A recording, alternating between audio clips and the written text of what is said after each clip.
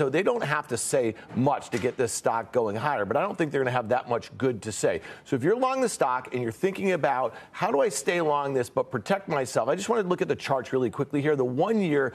Meantime, as we mentioned, uh, Tesla is going to report tonight after the bell. Off to a rough start for the year so far. Our Phil LeBeau is here to talk about what we might expect. Uh, some key areas that uh, the street's looking for some clarity on, Phil. The, the one number that everybody's going to be focused on, Carl, we talk about it every quarter.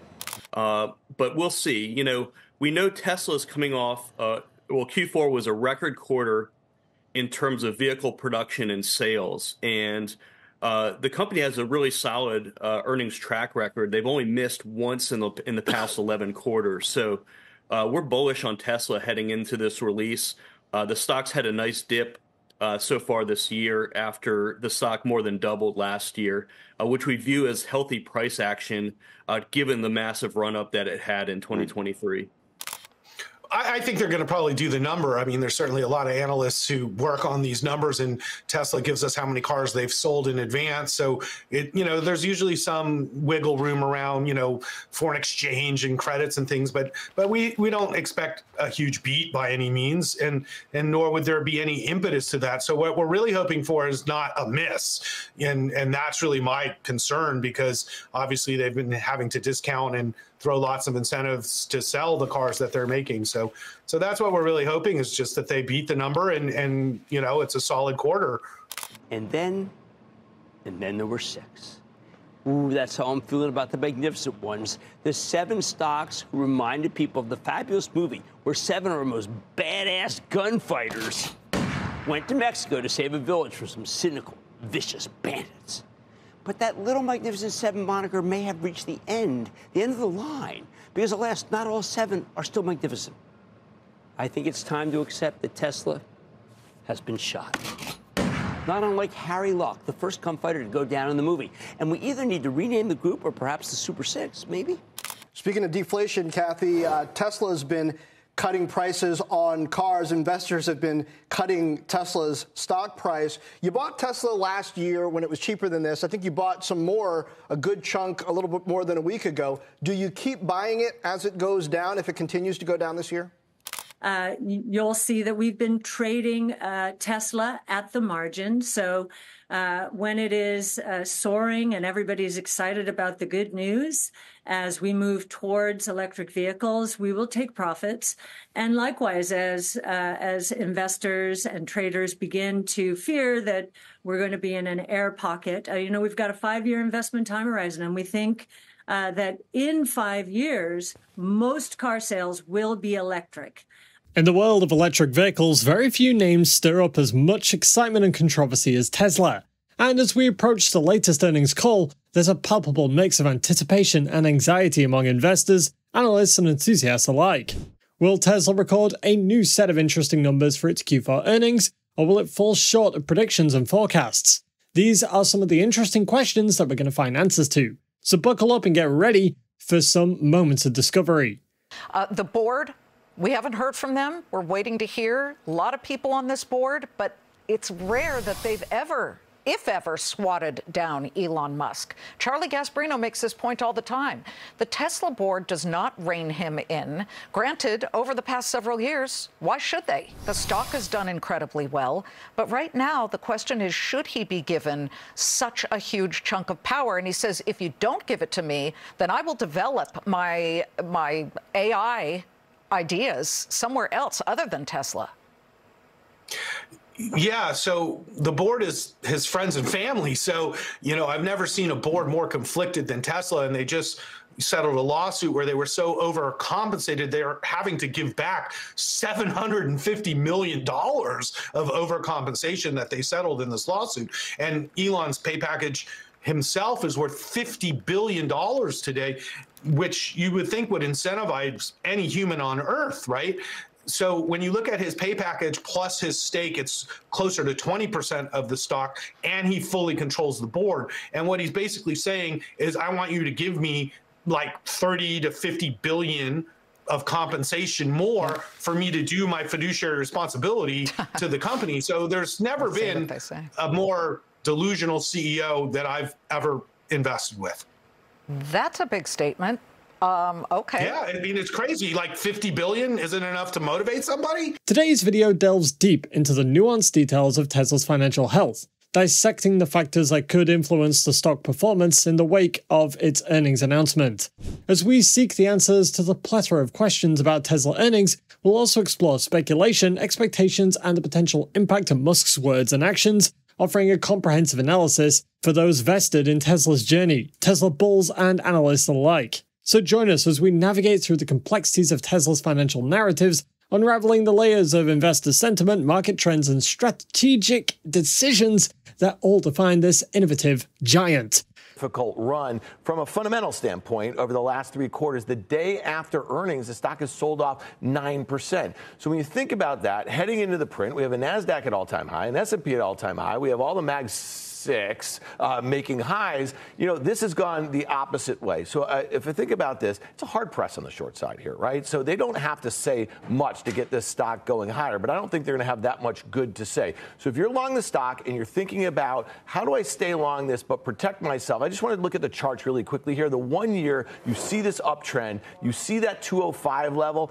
don't think you want to be long below that if it were to break below that. Look at it on a longer term basis here, and you say to yourself, and Guy's been highlighting this pennant formation that's been in place. Really difficult spot. It's below that longer term uptrend to me. So you want protection if you're long into this print. I would look to collar your stock. So today, the stock about 209 versus 100 shares long the stock. You could look at February expiration and sell one of the 230 calls that expires there at about $4 $4.40 in February. You could use the proceeds and look down in February expiration buy one of the 192 half puts for $4.40. It costs. And then, and then there were six.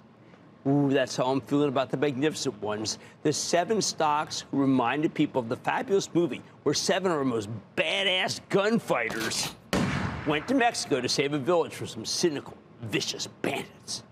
But that little Magnificent Seven moniker may have reached the end, the end of the line, because alas, not all seven are still magnificent. I think it's time to accept that Tesla has been shot.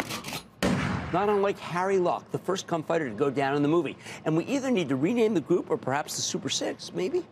Or search for a replacement. Get a seventh.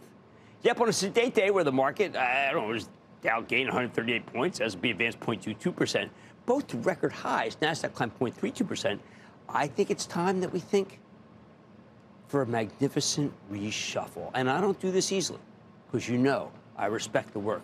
With the electric vehicle market at a crucial juncture and Tesla at its forefront, understanding the dynamics of Tesla's financials is more important than ever. As Tesla gears up for its earnings call, the atmosphere is tinged with a sense of apprehension, and past earnings calls have been a rollercoaster ride for Tesla stock often influenced by CEO Elon Musk's remarks. And this time around, the speculation is rife with a variety of predictions and concerns.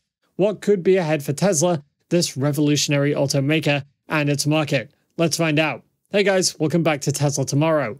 There are a few reasons behind the heightened anticipation about Tesla's Q4 earnings. First up, the lingering memory of the Q3 results, which deviated from the norm, leaving investors wary. And also, there's the looming anxiety over Tesla's growth trajectory. Uh, incentives, let's just cut to the chase. That is price cuts. They're trying to juice the number, and they have done well. They had just reported record uh, deliveries, record, del- yeah, Q4, record deliveries, uh, incredible number here. But at what cost? That's what shareholders right. are probably asking you right now through the TV set.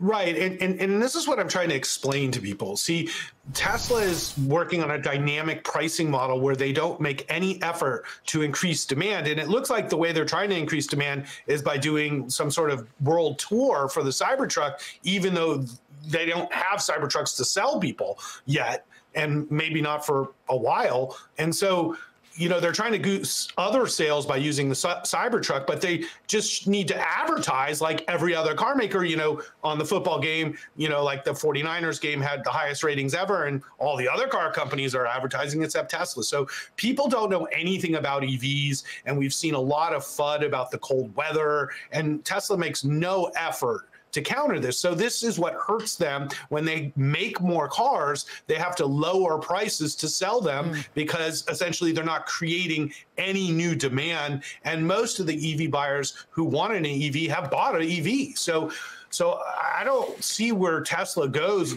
from a sense of earning. So they'll sell more cars, but I don't see how they make more money doing that with their current strategy. The stock over the past six months has lost about 22%, but there's a different time point on the sort of rearview mirror, and that is that uh, around November 15th of last year, the CEO, Elon Musk, began promoting or amplifying anti Semitic posts that are on X the platform he owns, formerly known as Twitter. Since then, the stock has dropped about 13%.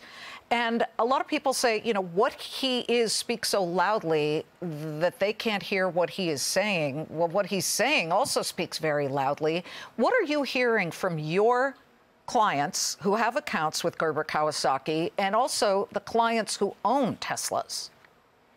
Right. And, and I do have to stress we have thousands of clients at Gerber Kawasaki on top of our fund GK, and which also has many clients. And so, you know, most of our clients have Tesla. So it affects a lot of people. But when you put up that chart about Tesla's performance, what you didn't show is that the market has actually taken off since that date. So relative to other tech stocks, Tesla's vastly underperformed since Elon has taken such outspoken and, and in my mind, you know, controversial negative views. And by doing that, many of my clients, and I tweeted this several months ago, you know, were furious and sold their stock. And now it turns out that that was probably a good move mm. because the stock is much lower from then. And as a firm, we've been forced to lower our allocation to Tesla because as we've really? seen the problems mount and the solutions that we see not being implemented, we've had to be prudent investors for our clients and understand that the story has changed. The Tesla story is not the same. The possibility of falling significantly behind the previously achieved 35% growth rate, potentially dipping into the 20s, has got stakeholders on edge. Such a decline would not align with the ambitious targets that Tesla set for itself and could possibly impact Tesla investors' confidence. Moreover, the tone of the call is still under scrutiny.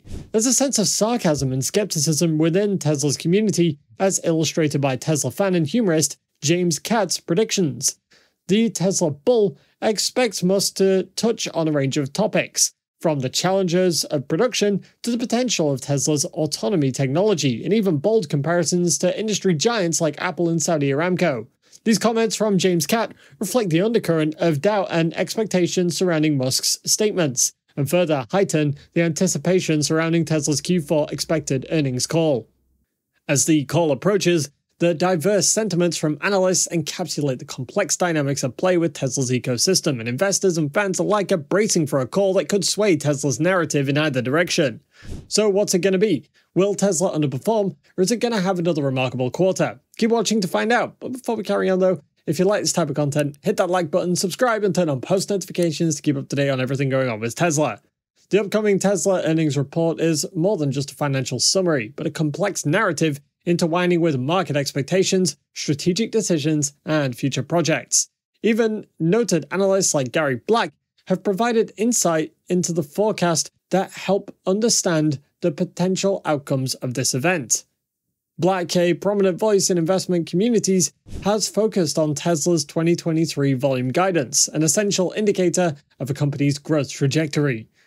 Last year's fourth quarter's earnings deck set ambitious targets reflecting Tesla's aggressive growth plans, and Gary Black had a sentiment that seems to anticipate a similar language in the upcoming report, with a nod to the 50% long term production growth target that dates back to 2020.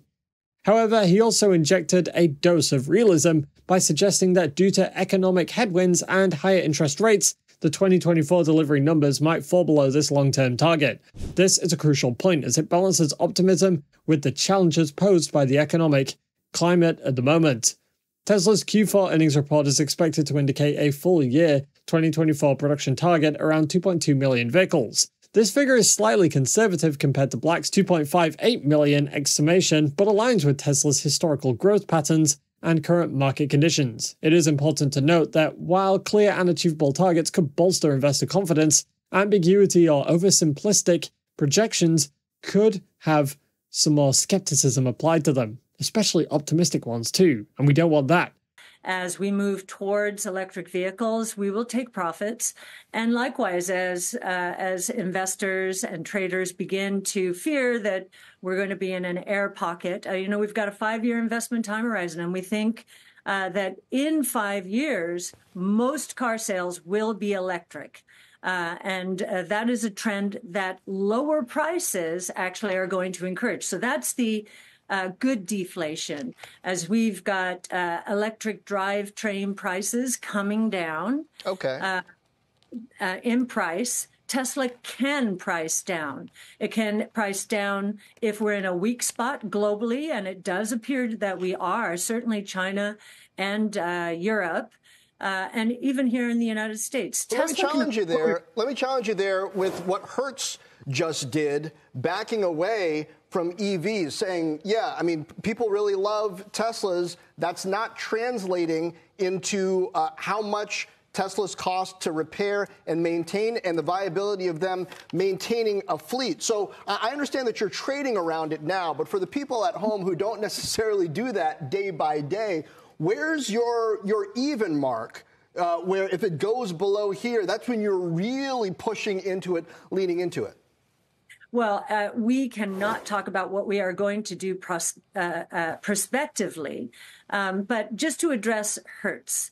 Um, there is a learning curve with EVs, and I think a lot of people go to Hertz and say, "I'm going to try my uh, first EV," and they learn, okay, if you're going to drive uh, you know, uh, 50 miles or 100 miles, you've got to start thinking about charging. So a bit of a learning curve. It is true that the repairs uh, the repairs cost more, but maintenance also costs 60% less. So there's a bit of a trade off. If you listen to Uber, on the other hand, uh, Dara will tell you that they're uh, encouraging more of their drivers to rent from uh, Hertz and others uh, because the the the drivers get more uh, Uber's take rate is not more, so it is really beneficial for drivers, and consumers love them. They're willing to pay up. So, uh, you know, uh, when innovation is evolving and the infrastructure is moving into place, but not quite there, especially in terms of repairs, you're going to go through fits and starts like this. But the trend is undeniable. Okay. Last year, last year, electric vehicle sales globally were up 28%, while uh, gas powered vehicle sales were up 9%. So share gain still. There's also been a movement in Tesla's stock price after every earnings call, usually because of investors' expectations. Also, Musk's historical pattern of impacting stock prices during calls has been a double edged sword. While the CEO's comments tend to age well, they sometimes cause immediate dips in Tesla's stock price. The balance Tesla needs to strike in this earnings call is clear offer realistic guidance that reassures investors of continued growth despite macroeconomic challenges. The fact remains that as much as investors may want to stay bullish on Tesla, a stable margin outlook for 2024, particularly in the face of pricing strategies and cost management, is going to be key for investor sentiment. It could show what Tesla's true valuation is. And what is your take on? I mean, we, we, we sort of read a, a litany of, uh, of headlines recently, including this Hertz news Um, around selling some of these vehicles and the like. Do you look at that and say, I mean, I, part of you I hear is saying this is an opportunity in terms of the, just the price fall, but do you think there's a larger macro headwind challenge to, to Tesla? And, or is it just, or is it the EVs and Tesla's excluded? Is it, is it idiosyncratic? How do you think about that?